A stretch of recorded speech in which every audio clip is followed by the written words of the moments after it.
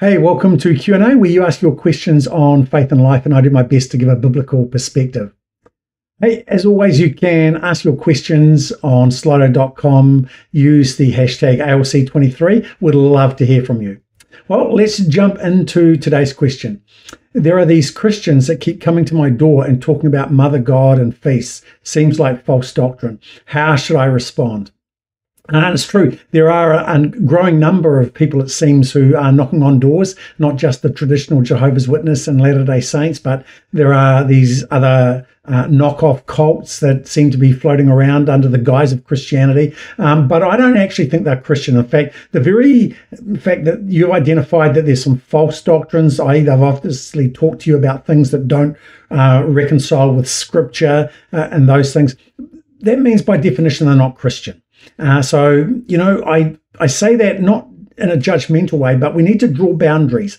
And when people transgress those boundaries, they're not Christian. They've stepped outside the bounds of Christianity, of Orthodox Christianity.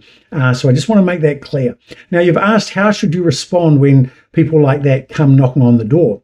Um, that's a good question. I know how I respond, and, and probably that's not necessarily the best way um, if you talk to my wife, it's probably she she thinks I'm a little bit hard, but you know, I get that there's a natural tendency that people want to engage them and think, you know, if I'm hospitable, I could win them over. If I have a talk with them, then I could show them where what the Bible actually says, and I can win them over. Uh, and my experience over over thirty something years is you don't you know, the reason that they're knocking on your door is that they believe what they believe and they're trying to convert you. Um, and they're primed, ready to go. In fact, many of them knock on the door, sadly, know the scriptures better than many Christians do. And so sitting down and trying to discuss with them is not really going to cut it in the way that we often think it does. Um, I, I, think we should be.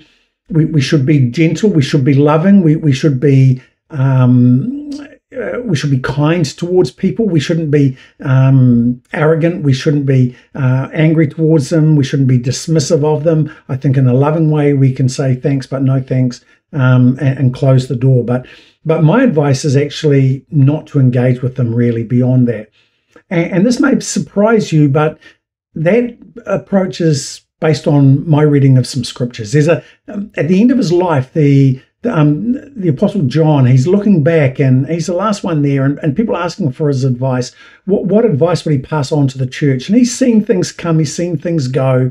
Um, and, and he writes in, in his second epistle, their second letter, um, warning of, of uh, people who have abandoned the faith or twisted the faith or perverted the faith or, or, or claimed a faith but never really had one. And he says in verse 7, let me bring it up, it's, it's worth, worth noting.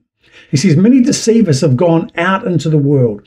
Watch out that you do not lose what we have worked so hard to achieve. In other words, don't be taken in by these people and undo all the work that's been done to help you um, yield yourself to Christ and grow in your faith. He says, Be diligent so that you receive your full reward.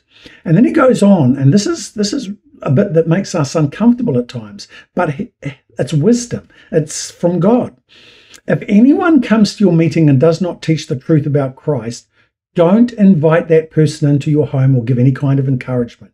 Anyone who encourages such people becomes a partner in their evil work. Uh, and, and so here we have this advice from John looking back, and he says, you know what? There are people who are there that they are deceived, and therefore they are deceivers. They're going out trying to win people to a distorted view of God, to a, a false view of God. And he said, You're not going to win them over by having anything to do with them. So don't. And in fact, the, when you give them time of day, when you uh, show hospitality to them, invite them into your home, have conversations, you are legitimizing their position. Um, and he says, by definition, therefore, you are partnering with them. So he says, don't go there. Um, and it doesn't mean to say we're rude or arrogant or hostile. It just means very firmly, very um, gently, though, we say, look, thanks, but I, I, am a Christian. I have my faith. Um, I know what I believe. Uh, God bless you. I've got things to do. And you send them on their way. That's the, that's how I respond and based on the advice of Scripture.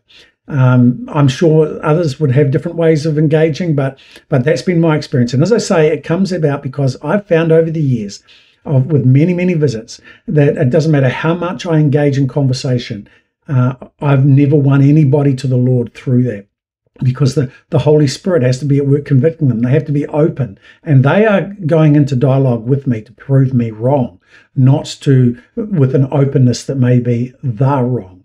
And so, um, yeah, I take the advice of John. Uh, I'm just I'm, I'm, going to send them on their way lovingly, um, gently, but but and, and, graciously, but but directly. So yeah, love to hear your thoughts on it.